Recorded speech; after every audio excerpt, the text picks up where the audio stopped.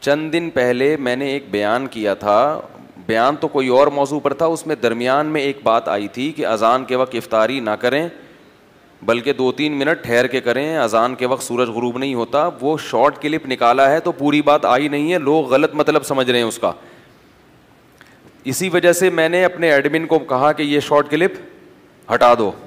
اور بھی ایک دو جاننے والوں کو کہا کہ یہ ہٹا دو، اس سے غلط فہمی پھیل رہی ہے۔ لوگ یہ سمجھ رہے ہیں کہ اذان کے وقت افطاری جائز نہیں ہے۔ اصل میں میں بات کر رہا تھا کہ ہماری مسجد کی قریب جو بعض مسجدوں میں اذانیں ہوتی ہیں، وہ وقت سے پہلے ہوتی ہیں۔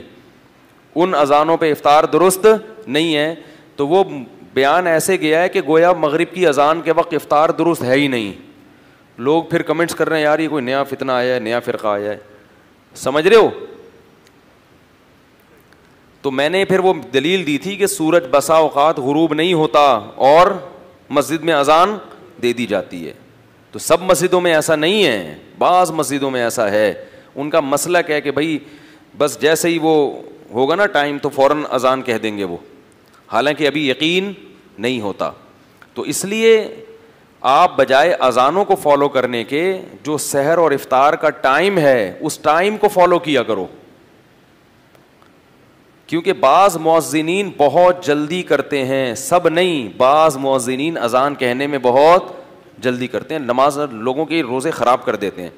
تو افطار کا جو ٹائم نقشوں میں لکھا ہوا ہے، اس سے احتیاطاً دو منٹ اوپر، ٹھیک ہے؟ ہاں اس پر ایک اشکال ہوگا کہ حدیث میں تو جلدی افطار کا حکم ہے، آپ دو منٹ اوپر کیوں کروا رہے ہیں؟ جلدی افطار کا حکم ہے بشرطے کہ سورج غروب ہونے کا یقین ہو جائے۔ تو یہ جو ٹائم لکھے ہوتے ہیں نا غروب آفتاب کے، یہ یقینی نہیں ہوتے، تخمینی ہوتے ہیں، تقریبی ہوتے ہیں، اندازے ہوتے ہیں، سو فیصد یقین نہیں ہوتا۔ اس کی دلیل کیا ہے؟ وہ میں نے اس کلپ میں دی تھی، اس دلیل کو میں دوبارہ نہیں دہراؤں گا۔ لہذا کوئی میرے خلاف کمنٹس کرنے سے پہلے وہ کلپ سن لے، اس میں پوری دلیل آ گئی ہے۔